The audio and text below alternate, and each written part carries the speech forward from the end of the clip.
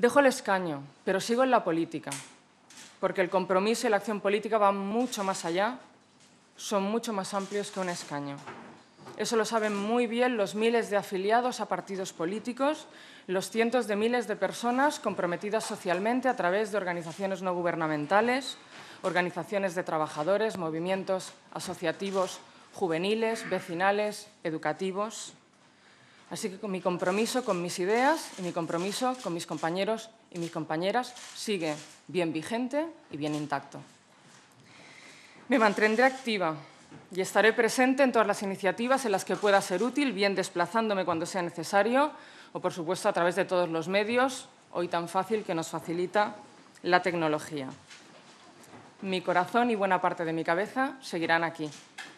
De hecho, en unas pocas semanas volveré a verles a todos ustedes porque estaré aquí para la conferencia política del PSOE, que se hará en noviembre. Y en todo caso, estaré de regreso en un año, me voy, pero me voy con billete de ida y con billete de vuelta.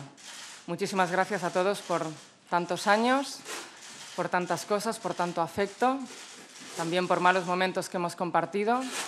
Seguro que si un día vienen por allí me encantará poder tomarme con ustedes una de esas maravillosas limonadas y en cualquier caso un café en estos días en que todavía esté aquí. Pero sobre todo a todos ustedes que siempre han tenido mucha paciencia con nosotros, también conmigo durante estos años, muchísimas gracias por este tiempo y hasta bien pronto.